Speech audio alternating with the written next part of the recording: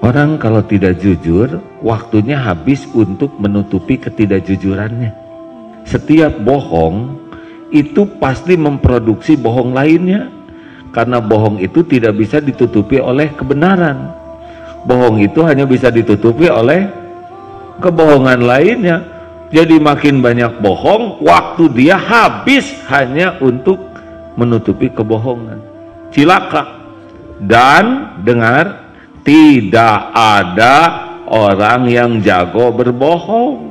Orang tidak ketahuan kebohongannya bukan karena jago berbohong, tapi karena Allah belum membuka. Mengerti? Tidak ada orang jago. Wah, ini dilindungi dengan strategi ini, ini dilindungi dengan teknologi ini, ini dilindungi oleh pejabat ini. Tidak bisa. Kalau Allah mau ngebuka, kebuka tuh. Kalau Allah mau ngebuka, kapan pun Allah mau kebuka, buka tanpa bisa dicegah siapa pun. Jadi nggak ada yang jago bohong, jago nipu, nggak ada. Waktunya dibuka, kebuka. Makanya Allah ngebuka macam-macam lewat HP, ada yang lewat rekaman, ada yang lewat KPK, polisi, ah macam-macam dibuka, kebuka aja.